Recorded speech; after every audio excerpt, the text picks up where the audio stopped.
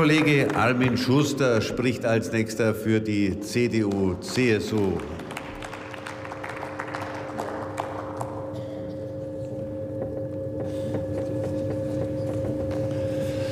Herr Präsident, meine sehr verehrten Damen und Herren, liebe Kolleginnen und Kollegen! 4.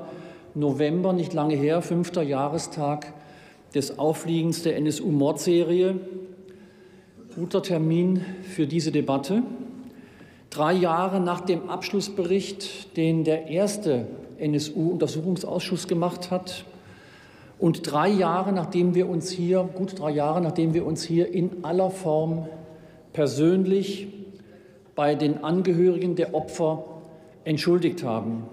Und wir haben zwei Versprechen abgegeben im September 2013, nämlich alles zu unternehmen, dass sich das nicht wiederholt und zweitens alles zu unternehmen, um diese Serie aufzuklären. Das erste Versprechen mündete in 47 Empfehlungen des NSU-Untersuchungsausschusses für Exekutive, Legislative und Judikative. Alle hatten ihr Päckchen zu tragen. Heute ziehen wir Bilanz. Das zweite Versprechen, alles zu tun, um aufzuklären, sehen Sie in München vor Gericht, sehen Sie in zwölf Untersuchungsausschüssen NSU von Ländern und im Bund, Sie sehen es an der akribischen, intensiven Arbeit des Bundeskriminalamts, des Bundesamtes für Verfassungsschutz und vieler Ländersicherheitsbehörden. Meine Damen und Herren, diametral anders als Sie, Frau Pau, halte ich das, was wir seit Ende 2011 in diesem Land tun, um das alles zu klären, für historisch beinahe einmalig. Ich hätte mir gewünscht, dass wir so konsequent auch nach der RAF-Mordserie oder nach dem Oktoberfestattentat auch gehandelt hätten. Da wäre es vielleicht auch notwendig gewesen. Aber die, was wir in Sachen NSU-Aufklärung tun, ist ein ganz schlechtes Beispiel, Frau Pau, um uns selbst zu beschimpfen. Sie beschimpft, haben sich ja gerade eben selbst beschimpft. Das halte ich nicht für angemessen. Es ist über Parteigrenzen hinweg, gerade im Untersuchungsausschuss, alles unternommen worden, in den Untersuchungsausschüssen. Warum? Wir haben alle regiert. Sie auch. Wir waren alle betroffen, nicht nur der Verfassungsschutz. Ich sage es Ihnen ganz offen, es ist ein Ausdruck von Feigheit, wenn wir hier mit dem Finger auf den Verfassungsschutz zeigen und selbst nie in einem Innenausschuss eines deutschen Parlaments die Mordserie als Tagesordnungspunkt aufgerufen haben. Wer selbst so viel Grund hat, über sich nachzudenken, sollte nicht mit dem Finger andauernd auf andere zeigen. Ich habe damals im September 2013 von einem kompletten Systemversagen gesprochen. Der Justiz, der Exekutive, aber auch der Legislative. Und deswegen finde ich diese Schuldzuweisungen ein bisschen billig, meine Damen und Herren. Lassen Sie uns, lassen Sie uns mal über die 47 Empfehlungen sprechen.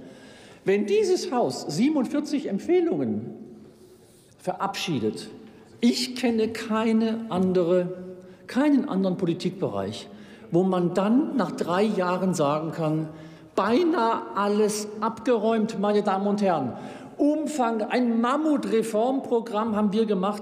Ich kann das gar nicht, wie Frau Frau, ich kann nicht alles aufzählen. Ich bräuchte 90 Minuten Redezeit, um zu erklären, was wir alles getan haben. Und Sie haben auch nur drei Punkte rauspicken können von 47.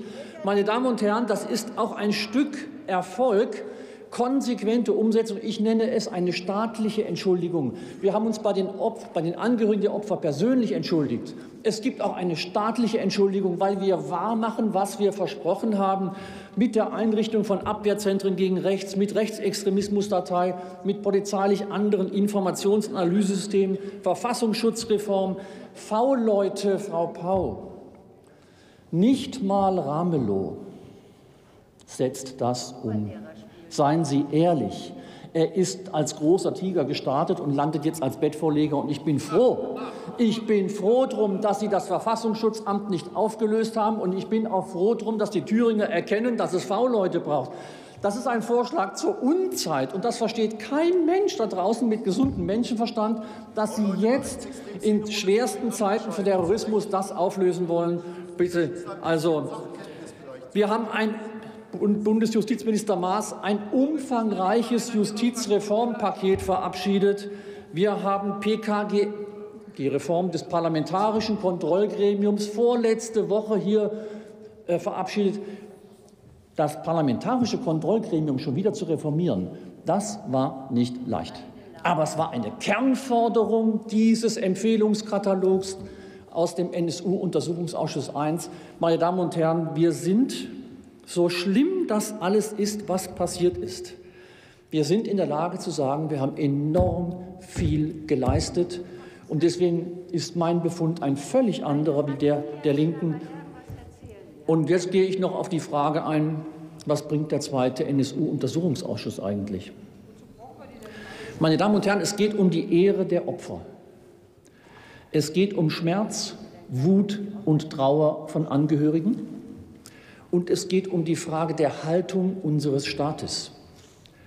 Solange wir nicht wissen, warum diese Opfer, solange wir nicht genau wissen, waren es genau diese drei Täter und solange wir nicht wissen, wer hat wirklich geholfen, ist es eine Frage der Haltung, niemals aufzugeben, diese Fragezeichen lösen zu wollen.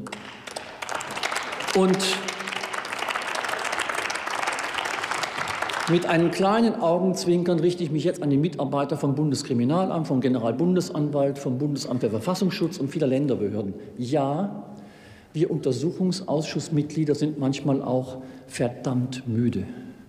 Es ist hart, vor allen Dingen donnerstags abends. Das gebe ich zu. Und dann habe ich auch meine Selbstzweifel. Aber ich glaube, wir tun das Richtige.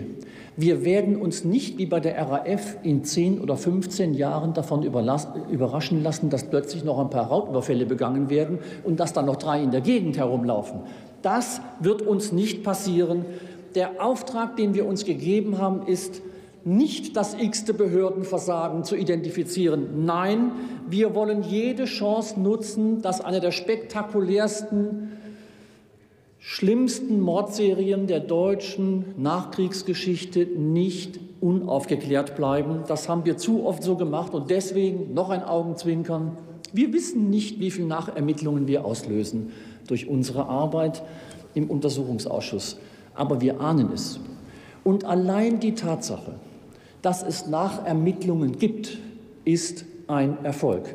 Und auch die Tatsache, dass wir mit etlichen Theorien, teilweise auch Verschwörungstheorien, aufräumen können. Ich hatte auch Theorien, die sich zerbröselt haben. Und es ist wichtig, dass sie sich zerbröseln. Es ist wichtig, dass wir auf den Kern der Sache kommen.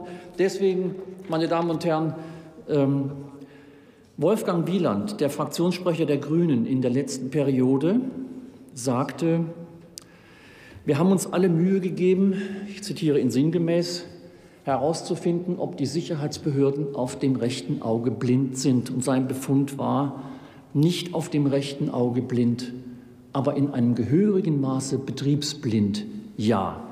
Frau Dr. Högel sitzt da, sagte damals, es war ein Versagen mit strukturellen Ursachen. Rechtsextremismus sei nicht gesehen worden als Gefahr. Aber auch Sie, die SPD-Fraktion, wir, die Union, haben nicht den Befund gehabt, hier gibt es institutionellen Rassismus.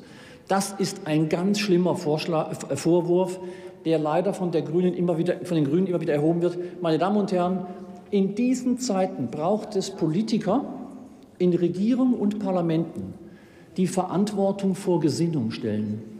Verantwortung vor Gesinnung heißt, Frau Pau, ich würde Sie hier am Rednerpult am liebsten so erleben wie bei uns im Ausschuss. Warum Sie hier teilweise anders sprechen, weiß ich nicht. Ich weiß nicht, welche Kundschaft Sie bedienen müssen. Aber die kooperative und konstruktive Zusammenarbeit im Ausschuss gefällt mir sehr gut. Es passt aber nicht zu dem, wie Sie hier reden. Abschluss. Meine Damen und Herren, ein einmaliger, wahrscheinlich in diesem Haus einmaliger Reform- und Aufklärungsmarathon im Bereich Rechtsextremismus und Rechtsterrorismus erfordert Ausdauer und Geduld. Das sollten wir weiter bewahren. Und ich glaube auch, dass es angesichts des Leids, was die Menschen erfahren haben, die da Opfer wurden, nicht zu viel verlangt ist. Ich danke Ihnen.